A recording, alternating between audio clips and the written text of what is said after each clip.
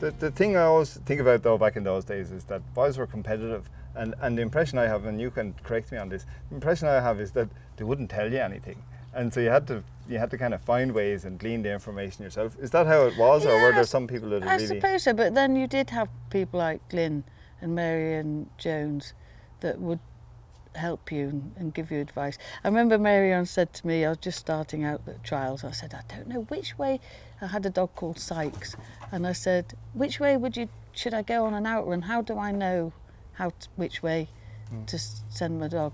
And Meirion said, go the way, go the way you'd go with a wheelbarrow.